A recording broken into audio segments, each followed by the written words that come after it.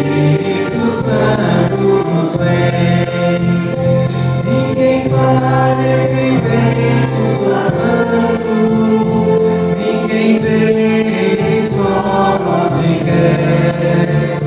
Por sem igual tem Espírito Santo, mas a igreja tem Cristo crescer. É divina, pois o Espírito Santo. Como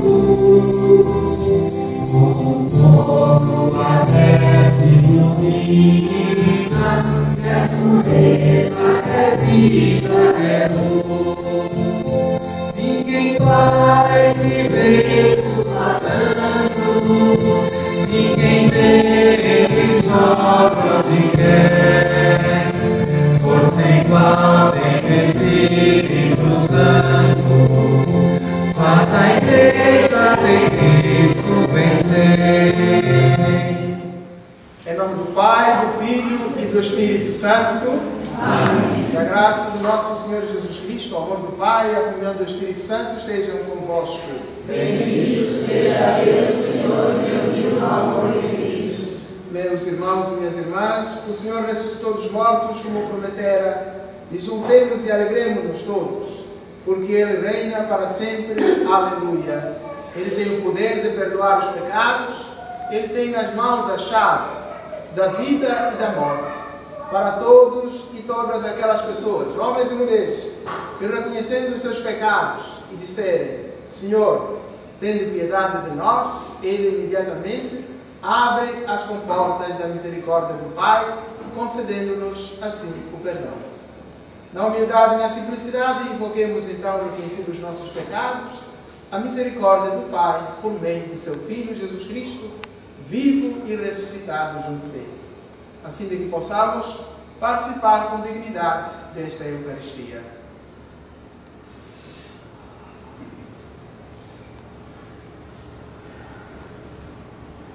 Arrependidos, confessemos os nossos pecados.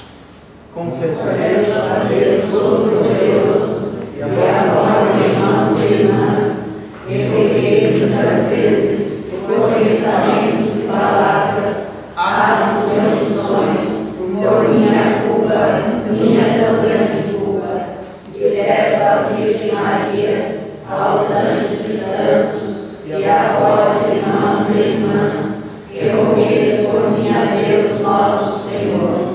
Todo-Poderoso, tenha compaixão de nós, perdoa os nossos pecados e nos conduz à vida eterna. Amém. Glória a Deus nas alturas. E paz na terra aos homens. Senhor Deus, Rei dos céus, Deus Pai Todo-Poderoso, nós nos louvamos, nós nos bendizemos, nós nos adoramos, nós nos glorificamos, nós nos damos graças vossa misericórdia. Senhor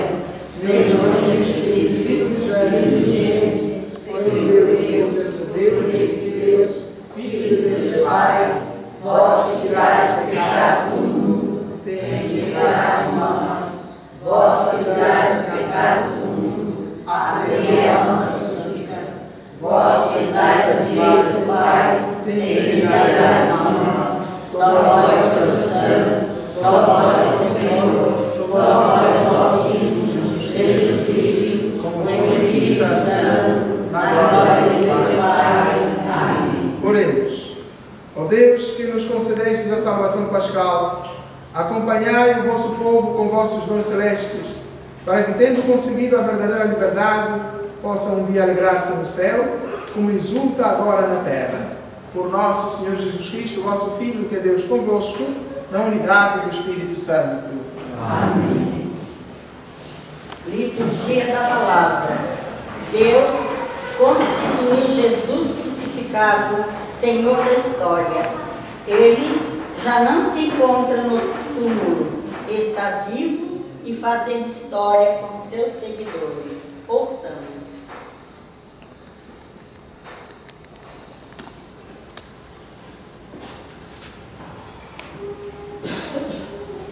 Leitura dos Atos dos Apóstolos. No dia de Pentecostes, Pedro disse aos judeus que todo o povo de Israel reconheça com plena certeza Deus constituiu Senhor e Cristo a este Jesus que vos crucificasse.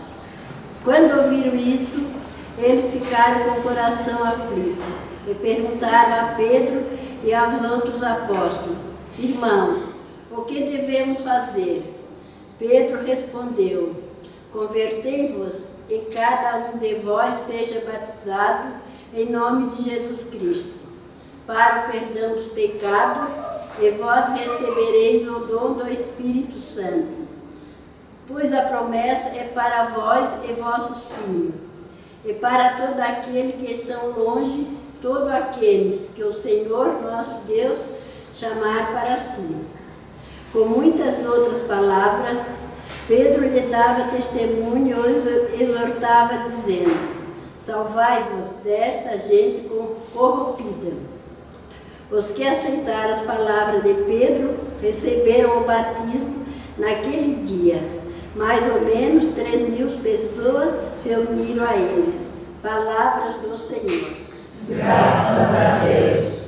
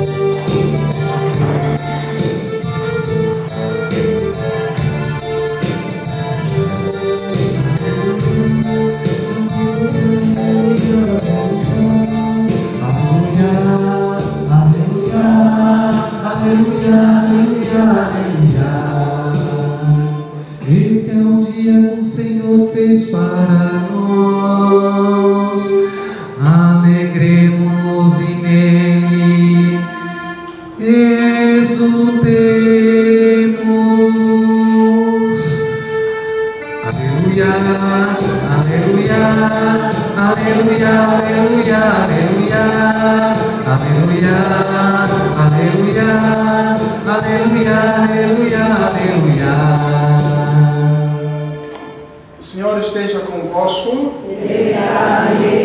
Proclamação do Evangelho de nosso Senhor Jesus Cristo, segundo São João. Glória a vós, Senhor. Naquele tempo, Maria estava do lado de fora do túmulo chorando. Enquanto chorava, inclinou-se e olhou para dentro do túmulo. Viu então dois anjos vestidos de branco, sentados onde tinha sido posto o corpo de Jesus, um à cabeceira e outro aos pés. Os anjos perguntaram: Mulher, por que choras? Ela respondeu: Levaram o meu Senhor e não sei onde o colocar. Tendo dito isto, Maria voltou-se para trás e viu Jesus de pé, mas não sabia que era Jesus. Jesus perguntou-lhe: Mulher, por que choras? A quem procuras? Pensando que era o jardineiro, Maria disse: Senhor, se foste tu que o levaste, diz-me onde o colocaste e eu o irei buscar. Então Jesus disse: Maria, ela voltou-se e exclamou em hebraico: Rabuni, que quer dizer mestre.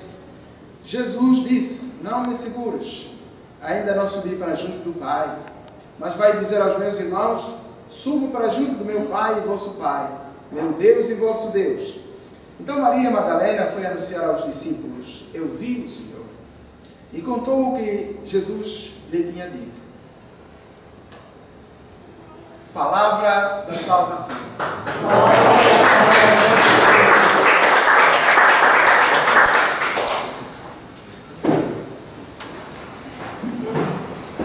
Eu vi o Senhor. Maria Madalena vai ao túmulo, vai ao sepulcro, à procura do seu Senhor. E quando chega no sepulcro, vê que a pedra foi retirada do sepulcro, da entrada do sepulcro, vê todas as coisas, aquelas as indumentárias para que cobriam o morto, estão todas ali dentro, mas o corpo do Senhor não está. E então ela se põe a chorar. Mas é engraçado que aparecem dois anjos, um à cabeceira e outro aos pés, que perguntam: Mulher, por que choras? E ela diz: Levaram meu senhor e não sei onde o colocar. Olhando para trás, vê, se depara com um jovem vestido de branco e conversa com Maria. E faz a mesma pergunta: Mulher, por que choras? Um pormenor entre os anjos, dois anjos, e o terceiro homem que aparece, que era o próprio Jesus. Mulher, por que choras? Eu acrescento: A quem procuras? E mulher, Maria Madalena responde: Se foste tu que o levaste, diz-me onde o colocaste para que eu vá buscar, para que eu vá procurá-lo. E quando o tiver encontrado, eu o levarei ao ninho, porque quem encontrou Jesus tem tudo para ser feliz. Encontrei Jesus, Ele é o meu libertador, é meu Senhor, meu amigo e amor. Ninguém o tirará, jamais o deixarei. Vai comigo no meu coração, com Ele. Tudo vencerei. As lágrimas, as tristezas, as angústias, os sofrimentos, as dores, as enfermidades, os problemas e os conflitos, quando nós temos Jesus no coração, tudo isso tem o seu fim. Quando Jesus pronuncia o nome Maria, quem nos chama pelo nome é porque nos conhece, não é verdade? Em meio a tantas pessoas, se eu escuto nome Ivone, e pior ainda quando coloca o sobrenome. Mas eu estou aqui, sou eu, porque nos conhece. E Jesus, o modo de chamar de Jesus é um, é um, é um modo singular. Ninguém é chamado por Jesus que não se sinta hipnotizado, no bom sentido da palavra, atraído. Ninguém é tocado por Deus e deixa que a coisa, a palavra dele, assim, voe de uma maneira qualquer, desapareça de uma maneira qualquer. Maria responde, Raboni, que quer dizer mestre.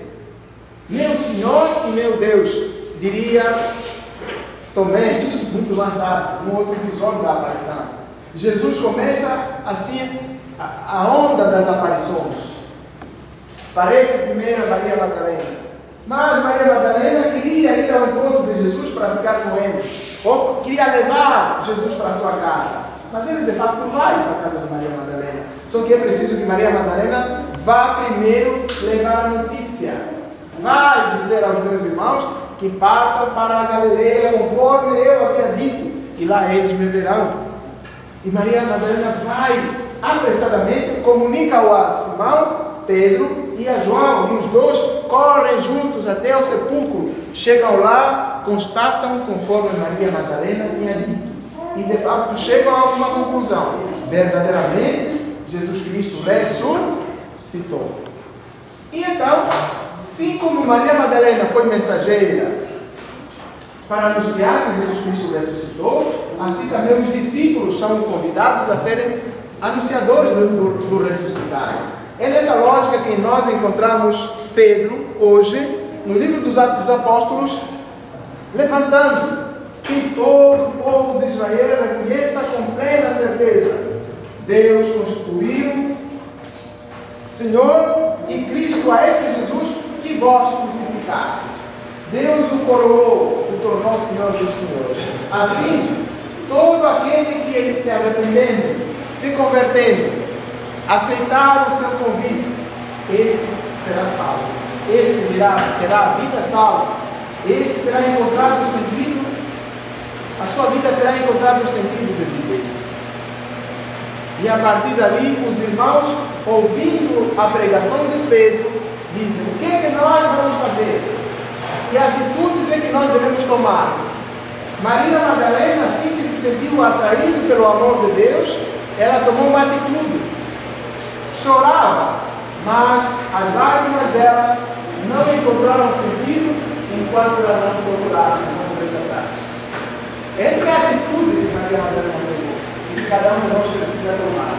No momento mais difícil, muitas vezes a gente reclama, é que estou indo com isso, estou aqui, está doente, mas não o médico. Como é que você vai ficar curado se você não o médico? É? Como é que você vai alcançar uma graça se você não reza? Como é que você vai chegar até a igreja se você não vai à igreja, não está na sua casa? Você está acomodado, está acomodado? Ah, porque meu filho não tem emprego, não está, não está trabalhando. Mas como é que ele vai encontrar emprego se está sentado em casa, a porta dele, ó, meio-dia? Acha que o emprego vai encontrar no lugar?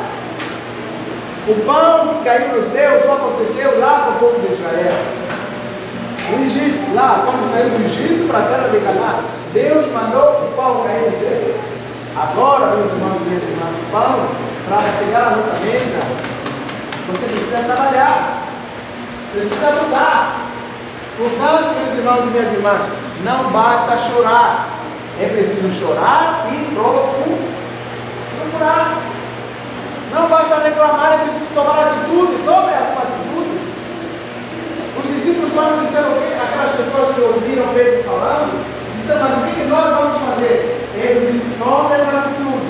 Convertei e acreditai no Evangelho. Olhai para não ser traidor do texto.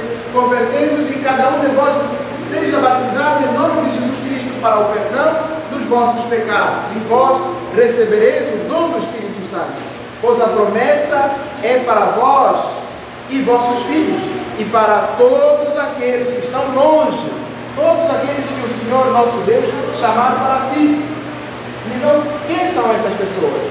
A carta de São Pedro, de São Paulo, diz, né, São Pedro, diz, Deus todo mundo, Deus enviou o seu Filho Jesus Cristo para que todos nós possamos ser salvos. E a verdade que salva não é outra senão o próprio Jesus. Deus quer que todos os homens conheçam a verdade e conhecendo a verdade se possam salvar. Não existe outra verdade através da qual e na qual todos nós possamos ser salvos, senão aquela verdade com que Maria Madalena se encontrou. Em meio a prantos, em meio a lágrimas, em meio a gritos, em meio a sufocos, ela foi ao encontro de quem poderia enxugar as suas lágrimas. Assim, no momento mais difícil da sua vida, faça o mesmo. Corra, vá, procure. Mesmo que você encontre o sepulcro vazio, mesmo que você encontre tudo e não tenha sentido, não, não parece que não tem saída, existe uma saída assim. Aquilo é uma coisa aparente. Maria Madalena também encontrou uma barreira. Tinha sido retirado de Jesus. Terá sido um roubo? Ou alguém estava fazendo sacanagem? Mas estava ali. Quando a gente se abre à ação do Espírito Santo, o milagre acontece. Quando a gente busca Deus na nossa vida, mesmo que façamos, estejamos a fazer a curva mais apertada da nossa vida, a virá. Deus é fiel. Deus nos ama. Deus nunca nos abandona. Deus nunca nos deixa, nos passa a perna, como se costuma dizer. Ele está sempre do lado daqueles que o invocam de coração sincero. Por isso, meus irmãos e minhas irmãs, assumindo os nossos pecados, assumindo as nossas dores, as nossas dificuldades, oramos como Maria Madalena, tomemos atitude, choremos sim, reclamemos sim, mas coloquemos-nos a caminho para encontrarmos vocês. E o caminho está exatamente em Jesus Cristo, o homem ressuscitado. Aquele que Pedro diz, saiba com absoluta certeza de que aquele Jesus que vós crucificastes, Deus o ressuscitou e o tornou Senhor dos Senhores, para que em seu nome seja pregado o perdão de todos os pecados, para que em seu nome sejam enxugadas as lágrimas dos olhos de todos aqueles que choram, para que em seu nome sejam consolados e consoladas todas as pessoas, homens e mulheres que andam tristes, para que em seu nome sejam reconduzidos ao redil, as almas, as ovelhas, ou sejam o rebanho que havia se perdido, para que seu nome sejam reconciliadas as famílias, os casamentos, os matrimônios, que estão em brigas, que estão em confusão, que estão em quase que em destruição. Esta é a ação de Deus na nossa vida quando nós, como Maria Madalena, buscamos o Senhor. Maria, depois de ter se encontrado com Cristo, chega à conclusão. Ter feito a experiência com Cristo ressuscitado, chega à conclusão de eu vi o Senhor. Ele fez em mim maravilhas. Santo é o Senhor. Vamos então, meus irmãos e minhas irmãs, converter esta partilha em preces, façamos-la subir ao Pai, na certeza de que ela será entendida e a cada intenção respondamos, Senhor, renovai todas as coisas.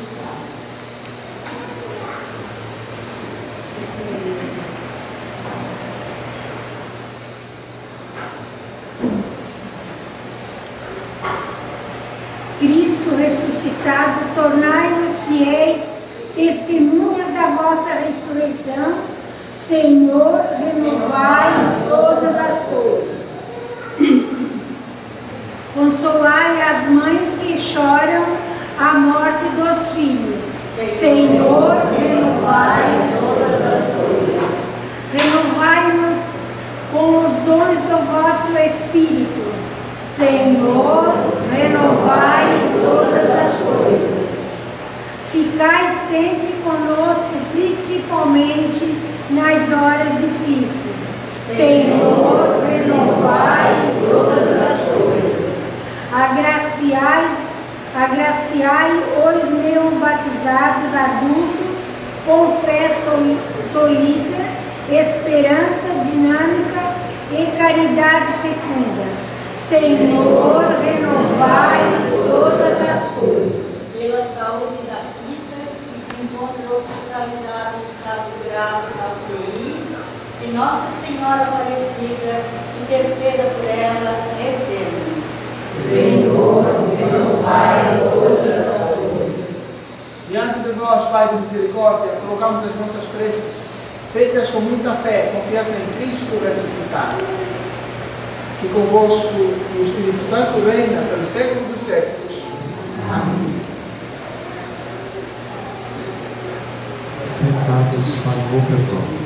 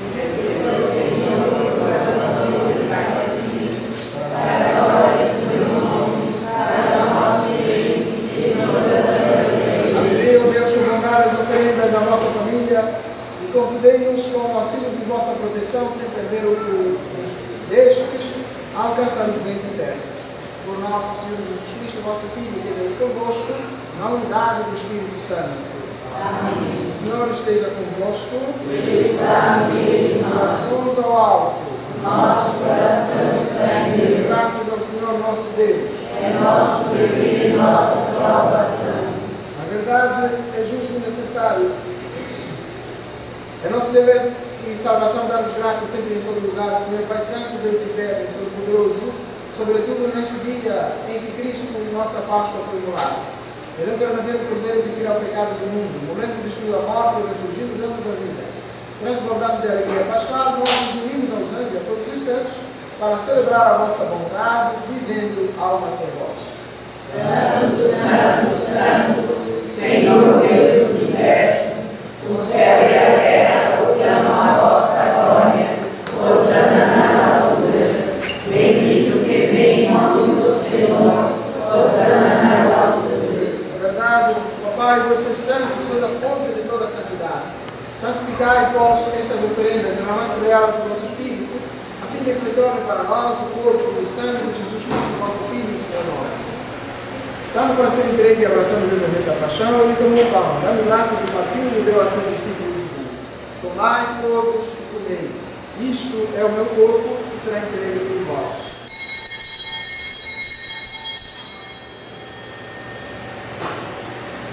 E com amor, no fim da ceia, tomou o cálice em suas mãos, deu graça novamente e deu a seu discípulo, dizendo: Tomai todos e bebei. Este é o cálice do meu sangue, o sangue da nova e eterna aliança, será derramado por vós e por todos para a remissão dos pecados. Fazer isto em memória de mim.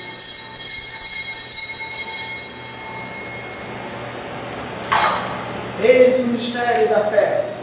Anunciamos, Senhor, a vossa morte, proclamamos a vossa ressurreição. Dize, Senhor Jesus. Celebrando vós a memória da morte e da ressurreição do vosso Filho, nós nos oferecemos ao Pai o pão da vida e o cálice da salvação. Nos agradecemos porque nos tornaste dignos de estar aqui na vossa presença e servir. E nós vos suplicamos que, participando do corpo e sangue de Cristo, sejamos reunidos pelo Espírito Santo no seu corpo.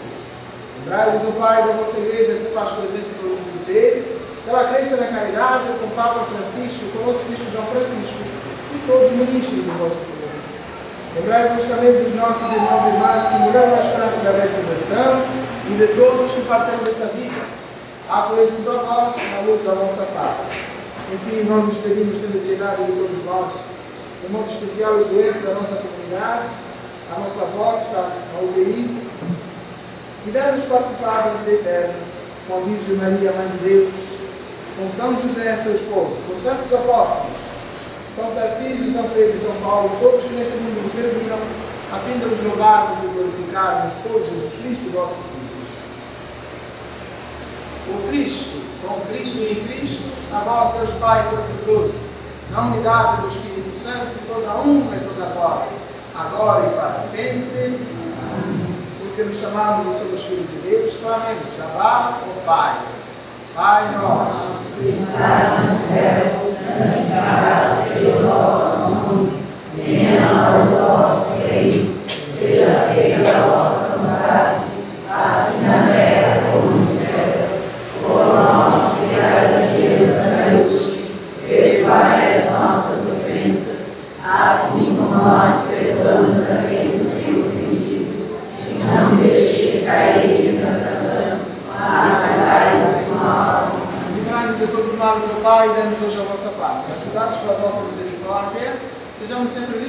pecado de toda perturbação, enquanto, da esperança, aguardamos a vinda de Cristo, nosso Salvador. Senhor Jesus Cristo, que disseste dos vossos apóstolos, deixe-nos a paz, dou-vos a minha paz. Não olheis os nossos pecados, mas a fé e caminho a vossa igreja. Dá-lhe, Senhor, segundo o vosso desejo, a paz e a unidade. Vós que sois Deus com o Pai e o Espírito Santo. Amém. A paz do Senhor esteja sempre convosco. O amor de Cristo nos uniu. Cordeiro de Deus. Tirai pecado do mundo, tem piedade de nós.